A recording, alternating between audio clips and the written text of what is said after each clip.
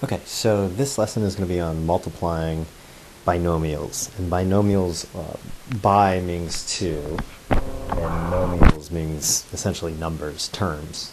So when I say we're going to multiply binomials, I mean I'm going to take something that has two terms, and usually one of them, the way we're going to do it, will an and the other will be like number. And then we're going to multiply that with another one that's kind of like that something like this. Now, some of you have done this already. Really, all of you should have seen this in some form at some point. Um, and uh, a lot of you remember, will probably, you know, you've heard the term foiling. Uh, and foiling, if your teacher, your Algebra 1 teacher used this, usually this stands for first, outside, or outer, inner, and last. And it's just kind of a way of uh, remembering the the what you have to multiply together. So if we come back over to this first example here, the way this one's going to work is to multiply those two together. Really, what you're doing is you're distributing. You're going to do 2x times everything over here plus 4 times everything over here. So um, that's what the FOIL stands for. So if I do 2x times everything else, I'm going to do 2x times x, right? So 2x times x is 2x squared. And then I'm going to do 2 times 2x times 3. So plus 6x. So that's the first and the outer terms, because the first terms are the 2x and the x, the outer terms are the 2x and the 3.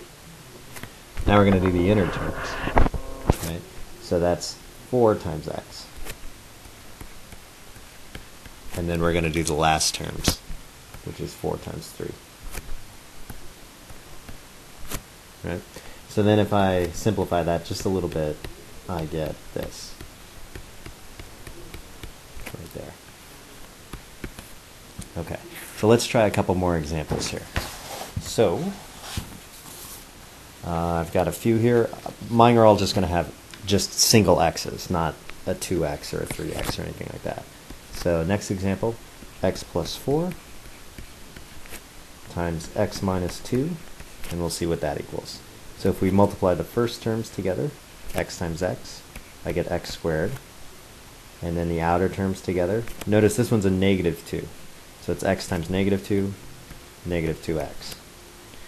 Uh, then I'm going to multiply the inner terms together, plus 4x, and the outer terms together, or the last terms together, minus 8. So this one turns into x squared plus 2x when I combine these terms, minus 8. Okay, next one. Let's try this one. x minus 6, x minus 3. So if I work this one out, I got x times x, which is x squared, x times negative 3, which is negative 3x, negative 6 times x, which is negative 6x, and negative 6 times negative 3, which is positive 18. So then if we simplify this, we get x squared minus 9x plus 18. Okay, so there are three examples. Uh, what I want you to do now is try these examples on your homework. Okay, so number four, uh, let's do x plus 6 times x minus 3. Number 5, let's go with x plus 1 times x minus 5. And number 6, let's do x plus 2, x plus 12. Okay, so do these three on your homework, and uh, we'll go over them in class on Monday.